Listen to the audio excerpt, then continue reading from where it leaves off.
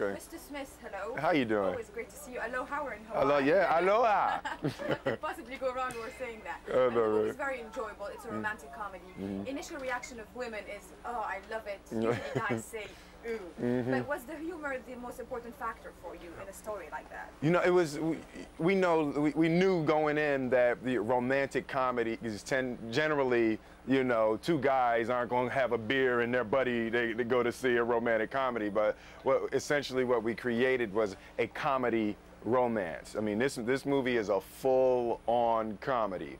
And, you know, it, it is hilarious. And, uh, and I think it, it, is, it might be one of the funniest films that, that I've ever made. You know, it's, uh, you know, I got to look. Men in, the first Men in Black is kind of funny, um, but you know, I, I just think that that, um, that I think the film appeals to everybody because of the the approach to the subject matter, the the comedic approach to love and relationships, and not not the not the full-on mushy uh, approach. It's true, there's nothing mushy. And what I enjoyed Mm. most of all is that, you know, usually it caters to women. You know, Mm-hmm. everybody uh, sees the sentimental side of women. In here, you get in deep with the sentimental side of guys. Absolutely. And that must have been something that you've enjoyed as well, right? Yeah, what what what was gr- great for me with with uh, creating this film, the the idea that I think we we've never really seen um, in recent history. We've never seen a really aggressive male lead in a romantic comedy. You know, the like. Uh, I was looking at the the uh, the uh, Philadelphia story with uh, with uh, Cary Grant, um, and um, there, in the, the opening scene, Cary Grant was uh, Cary Grant, uh, Audrey, Katharine Hepburn, I think, and he grabs her face.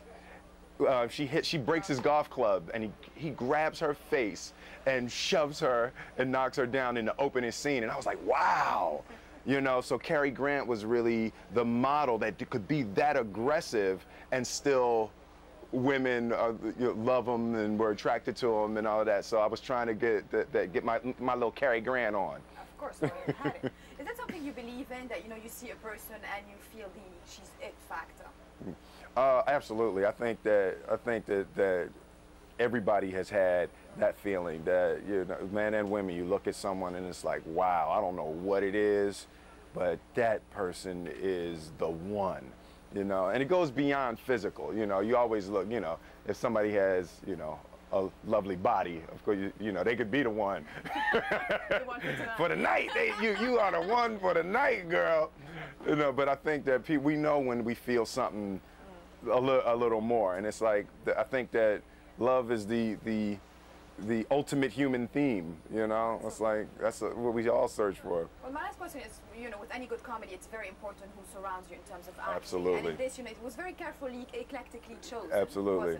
Yeah, it's um with with, the, with with these films, you know, and again making it making these films in uh, America, you always have to be, you know, someone you don't have to be, but you know, if you you know spend that much of the studio's money, you know, you need to be sensitive to to uh, to racial issues.